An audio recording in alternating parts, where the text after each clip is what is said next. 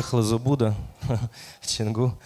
Эм, но мне всегда очень приятно пообщаться, рассказать о каком-то опыте, потому что это дает какую-то синергию. И вообще, мне кажется, идеология Web 3.0 э, состоит в том, чтобы коллаборировать друг с дружкой, общаться, отвечать на все вопросы, даже если это там не, не совсем нет времени или еще что-то. Мне кажется, вот эта вот синергия дает нам э, такой быстрый рост, который мы показываем на нашем рынке. Э, хотел бы узнать немножко про аудиторию. Кто знает, что такое NFT? Так, ну это уже большой прогресс. Да. Последний раз это было процентов 20 э, в парке. Эм, а кто запускал свои NFT? Вау. Да, я знаю просто, а здесь есть некоторые люди, которые делали продажи получше меня, вот, а, а есть э, кто вот э, только смотрит на это, поэтому я попытался сбалансировать лекцию, но для тех, кто уже делал, наверное, это будет не так интересно. Как оно? Ну, я про себя немножко скажу. Э, я в крипто, наверное, с 2017 года. А, начинал я...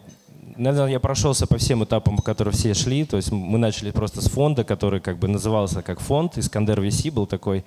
Э, мы работали там в трех странах, доросли до там, аж 200 человек. Э, вкладывали свои SEO-шки. Потом проводили, помогали другим. Ну, такая типичная карьера. Вот мы там прилично провели, наверное, 6-7 штук. И моя гордость состоит в том, что две из них до сих пор живы э, и прекрасно себя чувствуют. Один из них э, один из этих проектов поднял деньги уже от американских венчурных фондов, от Хоровица там, и так далее, и является таким сейчас одним из голубых фишек на рынке. Я люблю ставить эту фотографию, потому что те, кто хотел запустить когда-то свой NFT, я всегда советую делать NFT эм, самостоятельно. А, просто пробовать, общаться. И это вот это мой цифровой, моя цифровая подруга, ее зовут Жанна Дарк. Ее никогда не существовало в реальности. Эм, это лицо полностью сгенерировано искусственным интеллектом. А, и э, я это, по-моему, продал на Рарибле за что-то там полтора эфира. Это такая проба пера у меня была, мне было интересно самому это сделать. А, ну, по сути, я как бы занимаюсь цифровым искусством довольно долго, и мне было вот интересно, что, как это, вот что такое красиво с точки зрения искусственного интеллекта. А, ну и всех приглашаю, у нас есть свое медиа, это metaverse.media, мы пишем для фондов, там, крутых игроков, тех ребят, которые умеют читать сложные тексты, а, и мы реально разбираемся, как работает Metaverse, как работает э, GameFi, как работает NFT, там, и, э, ну, это на английском языке, так что, если кто знает. Да, из последних проектов э, здесь есть такой международный э, ювелирный бренд Parts of Four. Они знамениты тем, что вот там, типа, в последнем фильме «Дюна» были их украшения, их носят Кардашьян, Граймс, Бьонси. И я являюсь также куратором на Binance, и мне показалось, что этот проект может очень круто там выстрелить. По сути, у них были просто украшения — они 10 лет на рынке. У них офигенные комьюнити, самые настоящие. Они еще 10 лет назад говорили, что наше комьюнити — это все. А, и мы как бы сюда переходим к пониманию того, что такое NFT. Мы запустили э, игру, а, которая, э, где вы можете покупать разные виды материалов, форм, формы, и э, мерджить их в зависимости, ну и там, соответственно, есть уровень редкости. В общем, комьюнити эта игра круто зашла. А, сейчас там народ собирает единорогов, а, каких-то там а, огонь, лава, э, серебро, жидкий металл. В общем, это красивый действительно проект, типа артовый проект, который имеет свое продолжение. То есть там Эван сейчас, он там собрал этих денег, мы продались там меньше, чем за секунду на 550 тысяч долларов. И теперь все эти деньги отправятся на создание классной игры. Вот, я надеюсь, что они как бы это сделают, и эти токены действительно будут кому-то нужны в ближайшее время. Ну, я не знаю, как здесь есть люди. Я обычно объясняю, что такое NFT. Вот на примере токена от американской финансовой системы. Это токен американской финансовой системы. Если на нем стоит подпись, а, это уже NFT. Вот, то есть его, и он уже взаимонезаменяемый. Я еще хотел спросить, вот мы, я сегодня хотел сказать, наверное, о том, что является важным с точки зрения а, запуска NFT-проекта. Очень много людей спрашивают, как запустить там свой NFT-проект и так далее. А, я бы хотел вас спросить, на ваш взгляд, что, может быть, кто-то покупал еще NFT, да, и так далее, что, на ваш взгляд, в проекте NFT самое важное? Маркетинг. А? Команда. Ну, команда, она такая, вот именно специфика команда везде важна. А, то есть, что продает? Да, имеется в виду? Бренды в каком плане? А, тренды, да. А, спрос на NFT? Ну да, в принципе, спрос. Без спроса мы далеко не уедем. Да. В каком плане? В каком плане? А, утилити, утилизация, да, применимость, да, замечательно. Ну, в принципе, мы на самом деле сразу сходу назвали половину, то есть здесь как, знаете, crowd wisdom. А, да. В принципе, да, мы правильно назвали. Вообще по, по стандарту, да, NFT должны храниться на FPS, и это как бы всегда так было, и может быть такое количество проектов уже не уследить, народ просто, не знаю, хранит у себя на сервере. Типа просто вот картинка, вот вам что-то придет сейчас, ну это да. Эм, окей. Э, как я вкратце... У нас будет Twitter презентация. Я очень рекомендую Twitter как основной источник информации, э, потому что все мысли, которые я хотел э, для себя как-то понял из опыта, ребята очень круто формулируют в тредах. И единственное, что обычно, что такое Web 3.0, он практически ничем не отличается от предыдущей стадии развития интернета, но появляется такое понятное слово, как владение.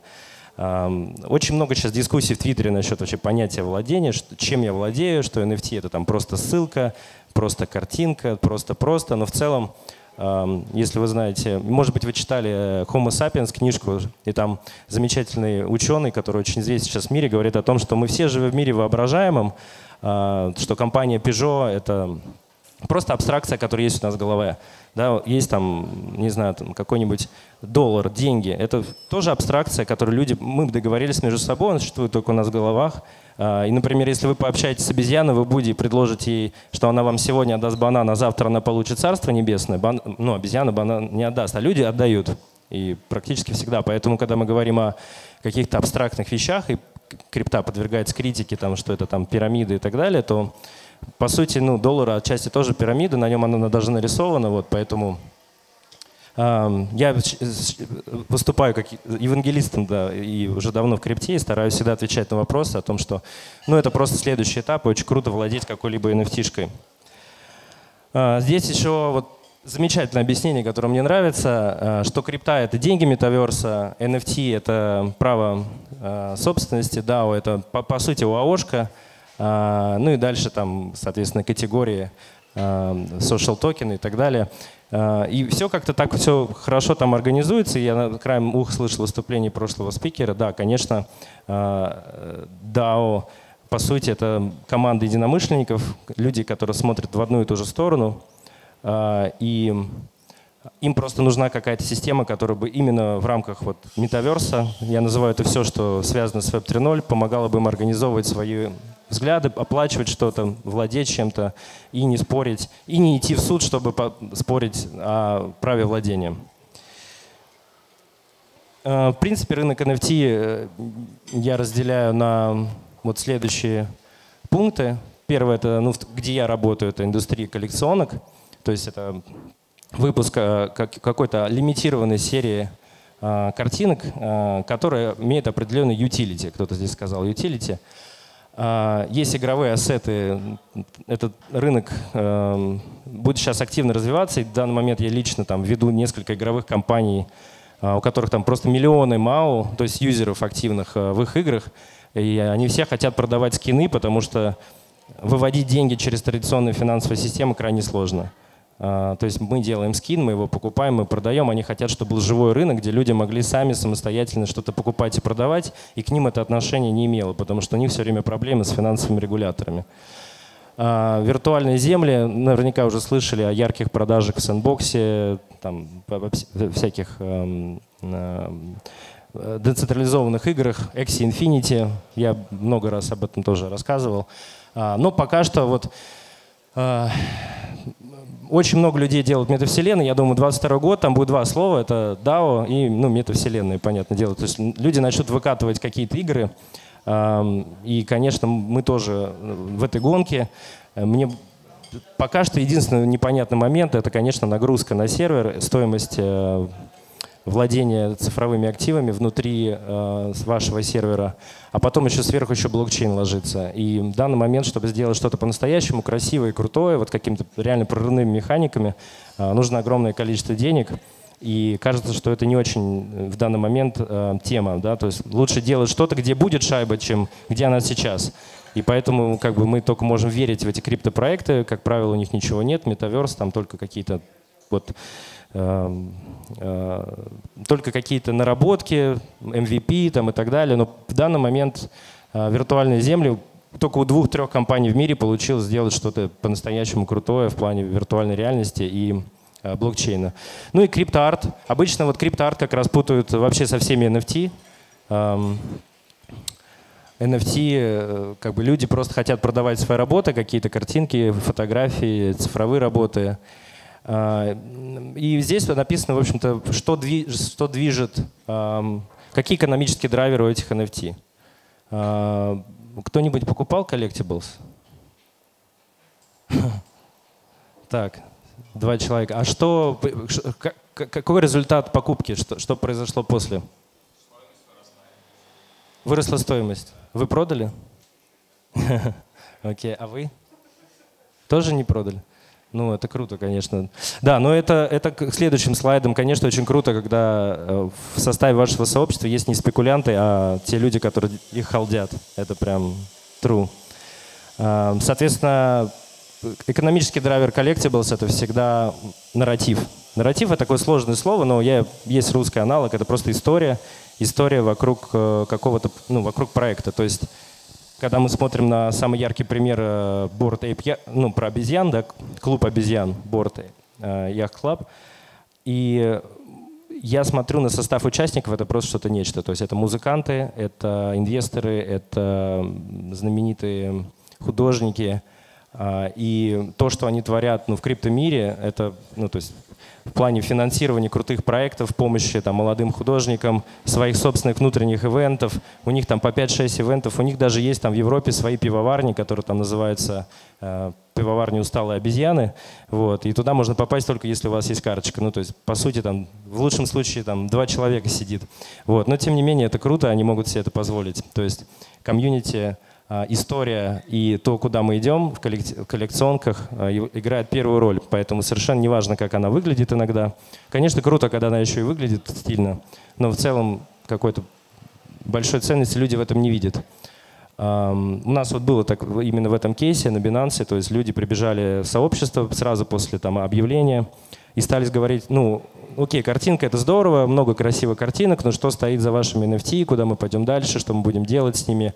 И мы на эти вопросы отвечали три недели подряд, э, каждый день там по 50 раз. То есть на самом деле сообщество реально смотрит, что мы будем делать с этими э, карточками дальше. Вот. А криптоарт — это очень простая история. Э, художник — это движ. Если вы умеете создавать движ, если вам, вокруг вас есть ваши фанаты, если вы умеете работать с социальными сетями, если вы умеете доносить из вашей головы мысли так, чтобы это было другим понятно и ясно, то, как правило, такие художники круто продаются. Надо показывать, что вы посвятили там свою жизнь этому и действительно в этой индустрии хотите работать. Вот. Но это, знаете, очень коротко, да, как бы, что двигает. Да? То есть я как коллекционер покупаю криптоарт, потому что мне нравится его работа визуально, мне нравится культура, идея, которая за этим стоит, и мне нравится сам чувак. Я вижу, что он реально себя пушит, он себя продвигает, он дает какие-то интервью, участвует в подкастах, развивает твиттер. Это как бы вот сейчас современный художник выглядит так. Если этого нету, если у вас нету подписчиков, если вы не знаете, как работать с аудиторией, не хотите, то, возможно, вы гений, но это так бы судьба Ван Гога, скорее всего, то есть посмертно. Посмертная слава. А, хотел бы... Вот мы уже с вами называли что двигает эм, вообще как бы NFT, для, что, что, как бы, что важно для того, чтобы запустить NFT, для того, чтобы оно было успешным. Эм, кто-то уже говорил, что доверие — это самая важная часть, которая может быть. То есть у нас, опять же, в нашем проекте, это не первый, люди реально начинали чекать. То есть, например, Parts мы сделали коллаборацию с компанией OneInch. OneInch — это... Кто знает OneInch? Да, ну это классная компания, они выросли за тот год в 10 раз, а там за них было 100 тысяч юзеров. В этом году в конце у них было миллион уже. То есть это как бы настоящий единорог, мне очень нравится их там визуал, и мы как бы взяли их единорога и превратили этот единорог в NFT, который выглядел очень круто. Но люди, которые приходили в сообщество, э, и по сути вообще как бы именно OneInch э, и сработал, потому что все-таки Parts например, это бренд из э, там, Парижской недели моды, там, там, Dark Fashion. То есть у них есть свое сообщество, у них 300 тысяч там, подписчиков в Телеграме, но это люди, которые очень-очень далеки от крипты, и они, как правило, не покупают. И по опросам, которые мы делали, там, у нас из там, полутора тысяч человек в Телеграме там, буквально 5% было из их сообщества. Все остальное это были новые люди. И они реально пошли в Твиттер, они э, пошли э, к OneInch, они стали спрашивать, они пошли в Binance, они стали смотреть, правда это или нет. То есть на самом деле, конечно, можно идеализировать эту сферу, но, конечно, там процент скама, он огромный. А, это как бы иногда даже вот совершенно не ожидаешь а, от людей а, какого-то обмана, но в целом, да, где-то я смотрю, что процентов 70 проектов, прям, ну это большинство, они ну, как бы нацелены только на деньги. То есть интересно собрать денег и, в общем-то, потом как-то раствориться и дальше эти деньги как-то реинвестировать. Но не в рамках этого проекта.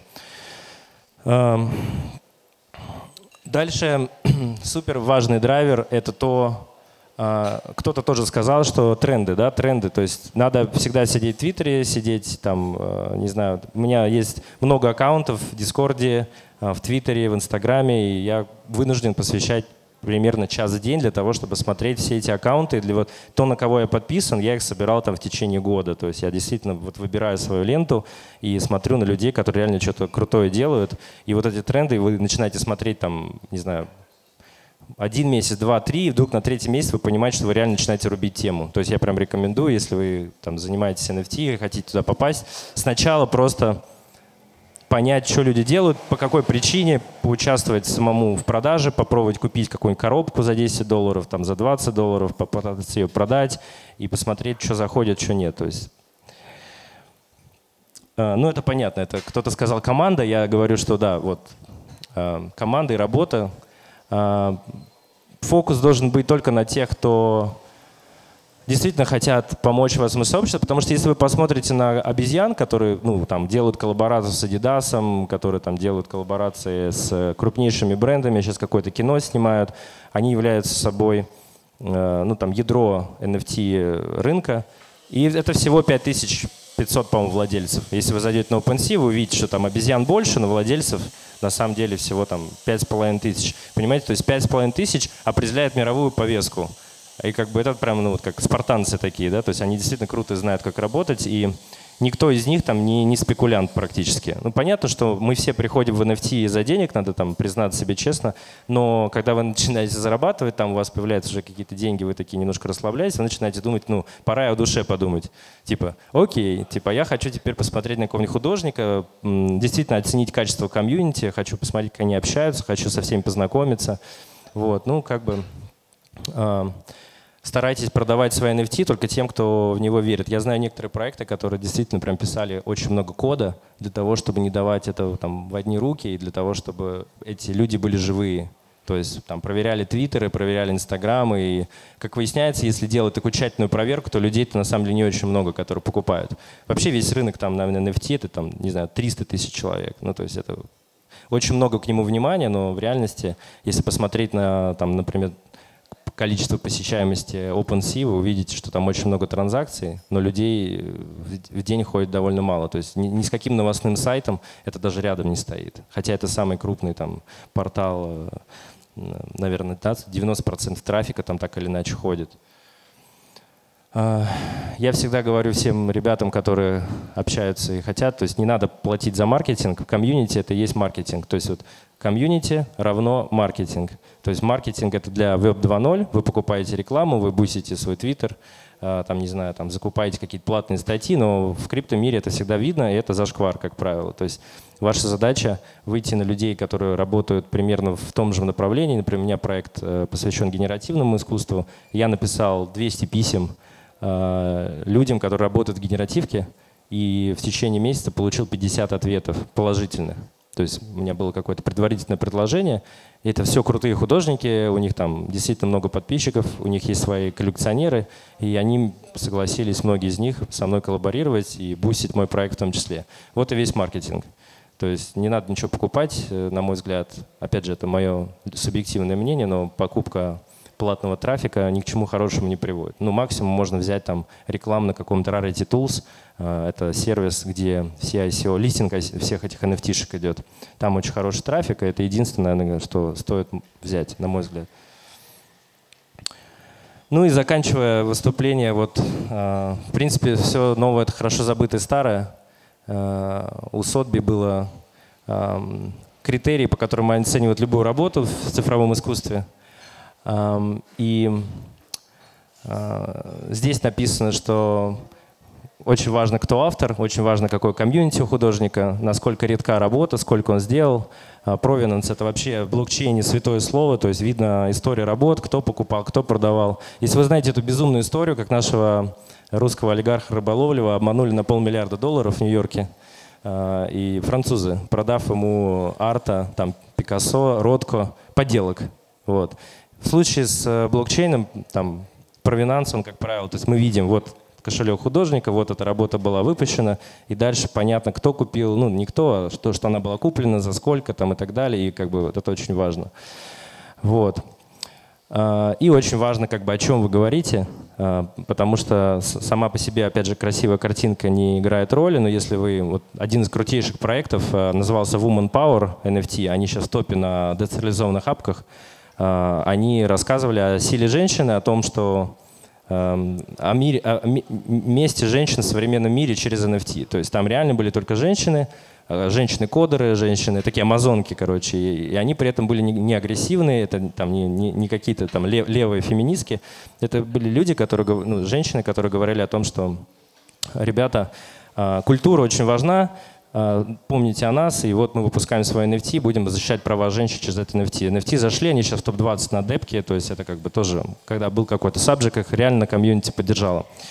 Вот, давайте теперь вопросы. Вот.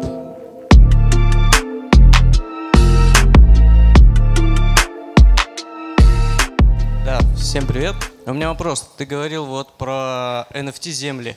Как ты считаешь, почему вот такие проекты, ну, про продажу землю, про вот эту виртуальную реальность, не так развиваются? Ну, то есть ни у кого не получается сделать успешный проект. Почему? Ну, на самом деле, мне кажется, ответ простой, это очень сложно.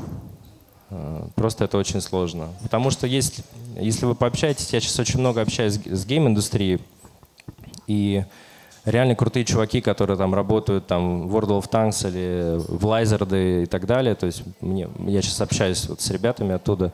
Они говорят, слушай, ну, если тебе дадут деньги, очень много, там, миллиард, и у тебя будет самая топовая команда, у тебя шанс сделать игру хорошую, он примерно такой же, как у инди-разработчиков. Потому что это не от этого зависит. Эти факторы не так сильно влияют. И для меня это было открытие, потому что я думал, ну что, как если сделать игру, надо взять там денег, надо взять команду и, как обычно, там будем что-то пилить. Но они говорят, это как бы больше похоже на чудо. Ну, то есть, как бы при всех там знаниях, умениях а, сделать крутую игру, которая зайдет. Они мне привели там один проект, у которых там вообще ребята, которые Assassin's Creed делали, а, от Ubisoft получили грант на полмиллиарда. И у них в данный момент в онлайне 800 человек, он говорит. 800. То есть у них игра работает, но там 800 человек. То есть это, это вообще... А, и плюс туда вы еще прикручиваете блокчейн. А, когда вы прикручиваете блокчейн, вы попадаете на законодательство, потому что пока вы маленькие там котики, там обезьянки и собачки, а, всем на вас все равно. Но как только вы вырастаете и у вас там уже там 100 тысяч пользователей хотя бы в месяц, на вас начинают смотреть, кто вы и как вы зарегистрированы и где.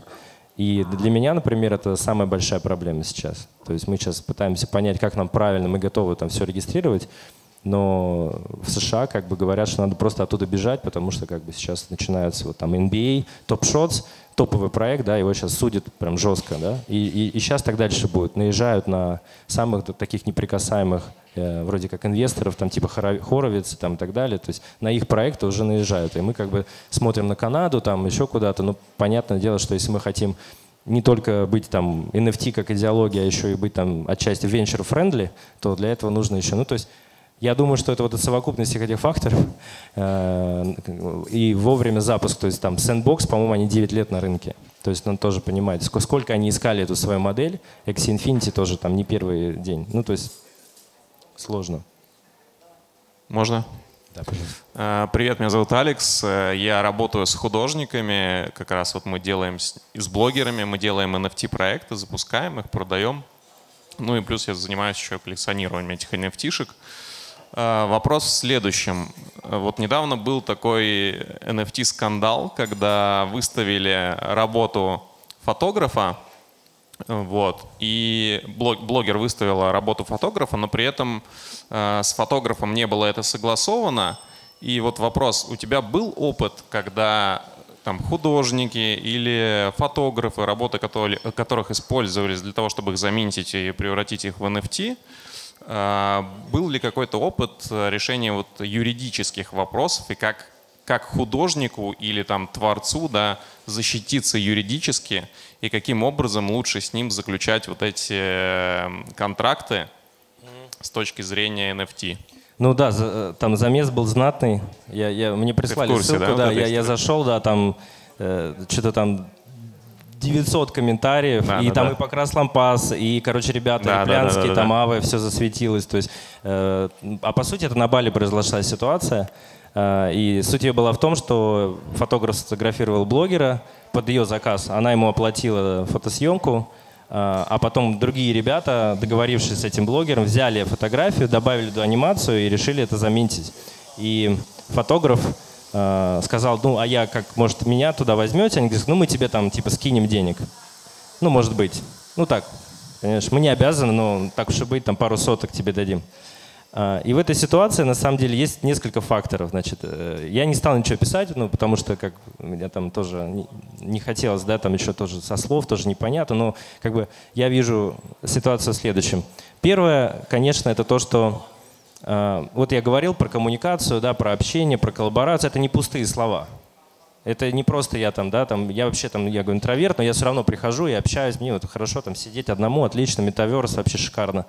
Но надо общаться, да, и общаться максимально, то есть любой человек, это сразу это уважение, э, какой бы он там, как бы он там не выглядел, да, и вежливость в общении. Это, ну, это принцип вообще, я не знаю, как там воспитание и так далее. То есть я думаю, что там во многом именно сам тон беседы, да, в бизнесе, ну, мы не знаю, кто здесь, много здесь, наверное, предпринимателей, вы знаете, что основная проблема – это не спор там, вот по контракту, а если кто-то кого-то лично зацепил, на этом вообще уже не важно, что в контракте. То есть люди начинают друг друга мочить. Поэтому я, например, никогда э, в острый конфликт не вхожу и на личности никогда не перехожу. Всегда только вот по контракту.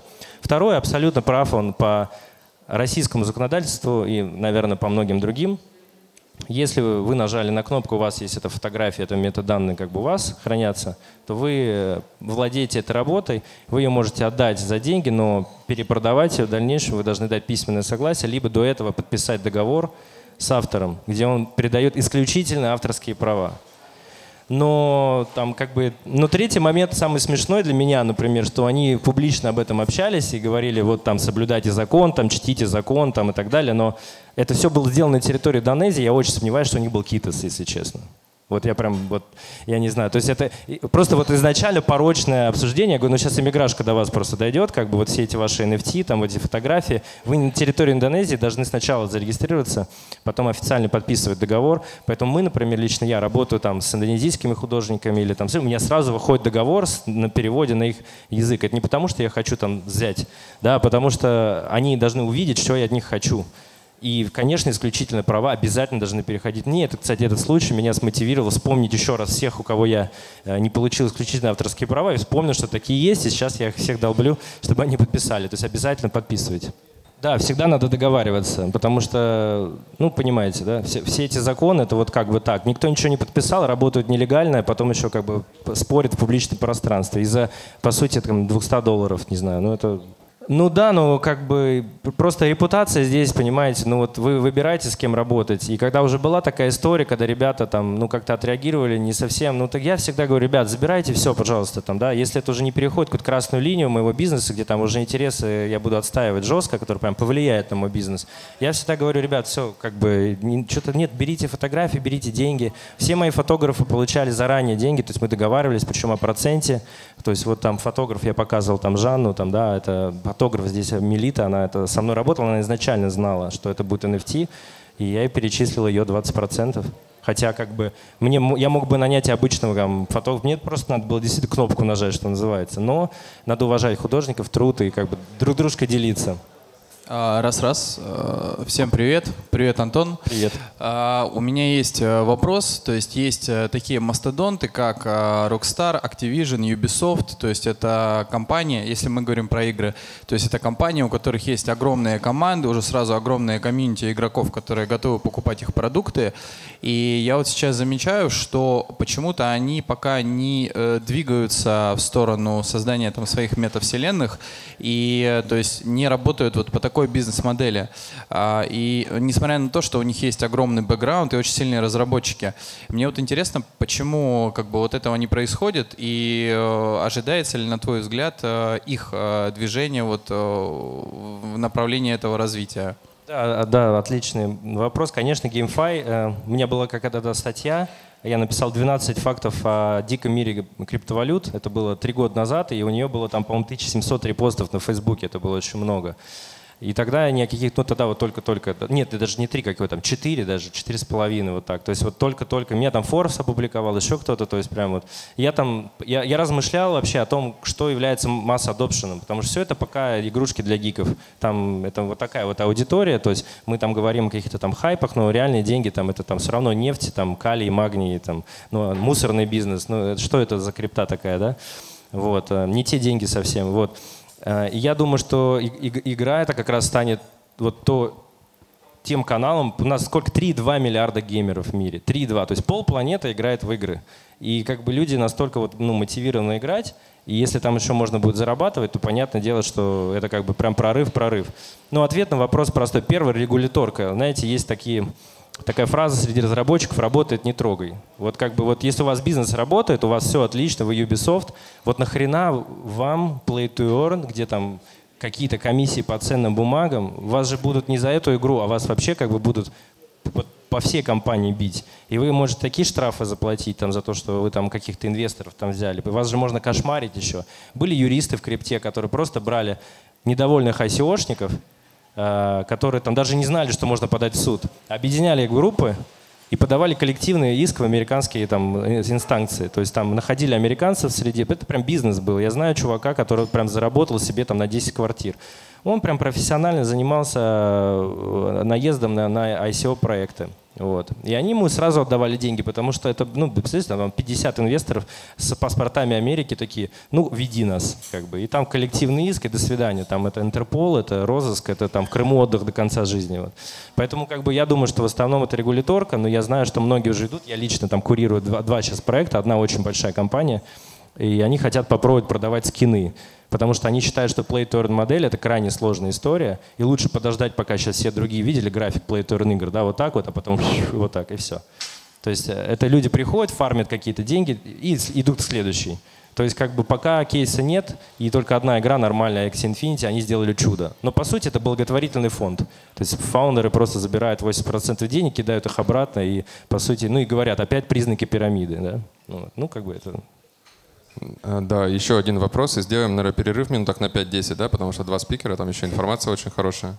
Я думаю, да, что один из спикеров даже оспорит немножко про геймифай индустрию, мнение Антона. Да, еще раз всем привет. А, первый вопрос, связанный с регуляторкой в разных странах. Правильно я понимаю то, что NFT пока что не облагается никаким налогом, и он а, как один из способов почистить деньги. Да, ну то есть купить у третьего лица по договоренности, либо самого себя, там, с другого кошелька и так далее. Это первый вопрос. И второй вопрос, есть ли известные факты в 2021 году, что кто-то покупал дорогую nft например, за полмиллиона долларов, и продал ее дороже. Потому что мы все видим, что их покупают за безумные какие-то деньги, тех же обезьян и так далее. И что потом? Они просто их холдят. И... То есть цель какая? В дальнейшем уже заработать? Там, в долгосроке, например. Вот есть ли примеры, когда дорогие покупки NFT потом перепродавались, если этот рынок? Ну, вторичный, да, со второго начну попроще, да, вторичный рынок, он в два раза больше первичного сейчас, то есть оборотка очень хорошая, все работает, это как бы даже, да, э, у меня сейчас директор по маркетингу, который впервые в крипте получил там в эфире деньги, он сейчас смотрит на эфир, говорит, а он может еще ниже упасть, говорит, у меня уже два раза меньше денег, ну, то есть Вот. Я говорю, ну, добро пожаловать, как бы, да. Мы, поэтому мы все здесь, как бы, вот это ощущение, да, как бы. Да, да, ничего. Второе дно в подарок, да. Вот. Э, по поводу то есть нормально все перепродается. Ну, конечно, там есть элемент маркетмейкинга. То есть там было финансовое расследование офигенное там от э, колумнистки такой, который там занимается финансовыми преступлениями американской. Она рассматривала покупку фаундером Трона и вот попытки его купить Бипла, да, и вот как бы рынок это вообще с чего начался? Взрыв суперновый, да, то есть что-то случилось outstanding. То есть ребята очень умные. Трон, фаундер, я не могу произнести его имя, а, он безумно талантливый маркетолог. Просто, ну, так, гений в плане маркетинга. То есть Трон, ну, все говорят скам, скам, но тем не менее 100x он там трейдерам давал в свое время, и сейчас им пользуются, и денег там немерено, и вот он купил Бипла. И тем самым, по-моему, за что-то там какой-то, я не помню, то ли 69 миллионов, то ли 69, у меня эти цифры уже, то есть я мыслю в пределах там 10-15 миллионов долларов, я понимаю, вот я с ними работаю, какие-то такие деньги, а когда там уже 69, я еще туда, я не понимаю. Но я смотрю на dap.com и смотрю, отлично все перепродается. Ну, конечно, есть элемент спекуляции, есть маркетмейкинг, когда давайте купим там. Я думаю, что он просто повторил Чарльза Саачи, который купил когда-то Херста, знаете, акула за миллион долларов, знаменитая вот эта вот формалиновая акула, когда он взял просто художника, сказал, короче, он вообще не продавался еще, и он говорит, давай, миллион долларов. Ну, Сачи — это имя. И, как бы, и на этом как бы начался от рынок, и потом вот это то же самое все было. Если вы прочтете книгу «Как продать акулу за миллион долларов», вы увидите крипторынок. То есть ничего не меняется. Да? То есть, ну, это простая, приятная книга от профессора Кембриджского университета. Он рассказывает, как формировался арт-рынок, и сколько там хайпажоров, сколько там, там серпентарий просто, да, эти арт-агенты, там эти какие-то странные тусовки в Монако, на яхтах. Ну, чем, ну, крипта один в один, правильно же? Вот, там, вертолеты, там, это все. А, NFT можно ли купить? Ну, мы обсуждали это очень долго с Артемом Толкачевым. Вообще был дикий замес в Фейсбуке. Я впервые в жизни за год, наверное, с кем-то поспорил в Фейсбуке. Я вообще ненавижу спорить. А, но меня что-то зацепило, потому что чувак сказал, да вы все криптоны, ну, криптоны, вы все отмывальщики. И как бы мне было стало обидно не то, ну, там, не, не сколько за себя, мне вообще там все равно, в принципе, а вот за своих каких-то друзей, команду там мою там и так далее. Что значит? Я ничего не отмывал в своей жизни за 7 лет. А, и как бы я вообще, ну там, я там хорошо дружил с Ильей Сачковым, да, который сейчас, к сожалению, арестован. Но не потому, что он, да, там, ну знаете, да, группа IB, это трагическая история, вот. Э, понимаю как более-менее безопасности. И как бы мой вопрос простой. Возьмите, давайте так, вот есть сумка, не знаю, кэша в России, есть NFT, и давайте, чтобы вы купили дом в Европе. Вот кто-нибудь может рассказать схему? Э, как бы, обычно на этот вопрос ответа нет, потому что невозможно. То есть как бы можно там в рамках этого эфира что-то покупать и продавать, но когда вы захотите вывести какую-то ну, более-менее сумму денег, чтобы действительно ну, говорить, что это отмывка, ну, вы понимаете, что такое отмывка? Это, это сотни миллионов долларов. Это не, не отмыть там 20 тысяч баксов, да. Ну что это? Это вот Индодак здесь, пожалуйста, отмывайте сколько угодно. Вон там лимит расширьте, выводите, пожалуйста. И налог здесь официально платите, полпроцента в Индонезии. У меня вот официальная компания э, с, с Индодаксом контракт, и мы как бы все, все как бы честно, открыто прям заработали, я заплатил. Ну там, да, отдельная история. Но здесь, например, там, ну когда только идет речь, а давайте я выведу миллион долларов, вот тогда начинается игра, а особенно в нормальных юрисдикциях. То есть, ну, дом на Бали вы можете купить, но попробуйте купить в Европе, там, не, не дай бог в США, там, ну, ничего не выведете. Вот, поэтому это, ну, это может сейчас долго это отвечать на вопрос, чтобы как бы сократить, да, можно отдельно поговорить, но я считаю, что а, отмывать деньги это не тот кейс, и отмываются они не так. Вот. Не буду рассказывать как, если кто-то знает.